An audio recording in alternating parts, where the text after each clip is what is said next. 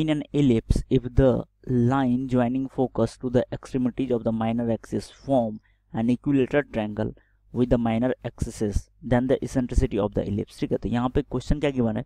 Question के लिए अगर मैं यहाँ पे इसके लिए डायग्राम बनाऊँ तो अपने पास क्या है?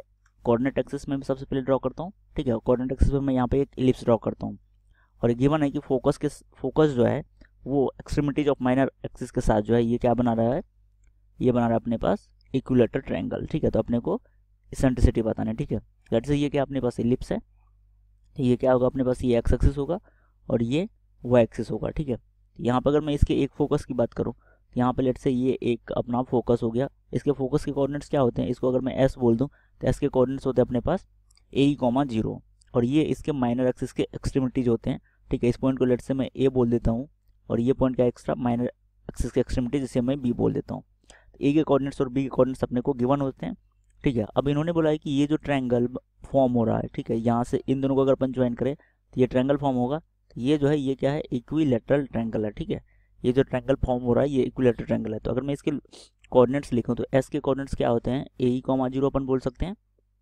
ए के कोऑर्डिनेट्स अपन क्या बोल सकते हैं? ज़ीरो कॉमा बी और बी के कोऑर्डिनेट्स अपन क्या बोल सकते हैं? ज़ीरो कॉमा माइनस बी ठीक है। तो ये यहाँ पे माइनर एक्सेस क्या होगा? एक्सट्रीमिटीज होगा zero comma B zero comma minus B अब ये ट्रायंगल जो है, ये क्या है यहाँ पे? इक्विलेटर ट्रायंगल है, ठीक है? अगर अपने एलिप्स की इक्वेशन अपन एज्यूम कर रहे हैं तो एलिप्स की इक्वेशन यहाँ पे X square upon A square plus Y square upon B square equals to one तो इसमें अपन हॉरिजेंटल एलिप्स लिए हैं तो ए जो है वो ग्रेटर देन किससे होगा? बी से, ठीक है? ए जो है वो ग्रेटर देन बी से होगा। तो ये क्या है? इसके coordinate zero comma B B के कोऑर्डिनेट्स क्या है? यहाँ पे ज़ीरो कॉमा माइनस बी और एस के कोऑर्डिनेट्स क्या है? ए कॉमा ज़ीरो अब ये यहाँ पे गिवन है कि ये क्या है? एलिप्स ये जो है इक्विलेटर ट्रैंगल है, ठीक है? तो यहाँ से अगर अपन बोले तो अपन क्या बोल सकते हैं? Triangle triangle A B S is equilateral ठीक है? तो अब इक्विलेटरल है तो इसके साइड्स क्या होंगे? इक्वल होंगे। इक्विलेटर ट्रायंगल है तो इसकी साइड्स क्या होगी? इक्वल होगी, ठीक है? यहाँ से अपन क्या बोल सकते हैं? ए एस जो होगा वो किसके इक्वल होगा? वो बी एस के इक्वल होगा, ठीक है? यहाँ से अपन इसके लिए डिस्टेंस फॉर्मूला अप्लाई करें, ठीक है? ये साइड लेंथ जो कि ये इसकी इक्वल होगी तो यहाँ से अगर अपन इसकी वैल्यू देखें तो ये क्या आ जाएगा अपने पास वैल्यू ये आ जाएगी ए एस जो होगी, वो ए बी की इक्वल होगी, यहाँ पे मैं ए बी लिखता हूँ, ठीक है? ए एस जो है, वो बी ए की इक्वल होगी, ये सारी साइड लेंथ इक्वल होगी, ठीक है? तो ए एस की वैल्यू अगर अपन देखें तो ये आ जाएगा अपने पास, ये आ जाएगा A E minus zero whole square plus A E minus zero और ये वैल्यू आ जाएगा zero minus B whole square का square root equal to A B की डिस्टेंस अगर अपन देखें तो आ जाएगा zero whole square plus B minus ये आ जाएगा टू बी का होल स्क्वायर का स्क्वायर रूट तो अब अगर मैं इसको सिंप्लीफाई करूँगा तो ये वैल्यू क्या आ जाएगा? अपन बोथ साइड क्या कर? दे स्क्वायर कर दे, ठीक है? अगर मैं स्क्वायर करूँगा तो ये वैल्यू आ जाएगा अपने पास A square E square plus में क्या आ जाएगा यहाँ पे?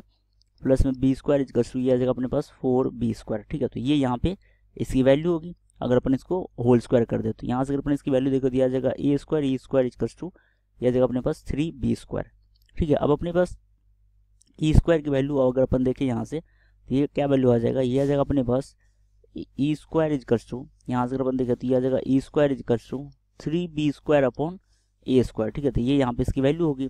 अब इसेंट्रिसिटी की वैल्यू अगर अपन बोले, मैं एलिप्स के एलिप्स के लिए इसेंट्रिसिटी की वैल्यू क्या होती है? मैं यहाँ पे इसके लिए फॉर्मूला लिखता हूँ. तो ये होता है अपने पास इसेंट्रिसिटी की value one minus B square upon A square का स्क्वायर रूट ठीक है? और इसका होल स्क्वायर करो तो एस ए स्क्वायर इसको अपन क्या लिख सकते हैं? One minus B square upon A square और B square upon A square की वैल्यू देखें तो B square upon A square की वैल्यू क्या लिख सकते हैं? वन माइनस ई स्क्वायर यहाँ से अगर अपन इस वैल्यू को सिंपली इस वैल्यू को B square upon A square की वैल्यू यहाँ पे पुट करूँ तो यह जाएगा E square equals to three times of यहाँ पे B square upon A square की वैल्यू क्या हो जाएगी? वन माइनस ई स्क्वायर ठीक है? One minus E square. तो बेसिकली ये क्या आ जाएगा यहाँ पे? इसकी वैल्यू अगर अपन देखें तो यह जाएगा three minus of three E square ठीक है तो ये इसकी वैल्यू क्या आ जाएगी यहाँ पे? ये अपने पास four E square equals to three और ई स्क्वायर की वैल्यू देखें तो अपने पास ई स्क्वायर की वैल्यू हो जाएगी थ्री बाय फोर और अपने को सेंसिटी की वैल्यू निकालनी थी तो ई क्या आ जाएगा यहाँ पे? ई आ जाएगा अपने पास रूट थ्री बाय टू तो जो for the given ellipse E की जो वैल्यू होगी इसेंसिटी की वैल्यू जो होगी, वो क्या हो जाएगी? Root three by two unit जो कि लेस देन वन होगा। तो आंसर अपना क्या आ जाएगा? Root three by two unit option A is the right answer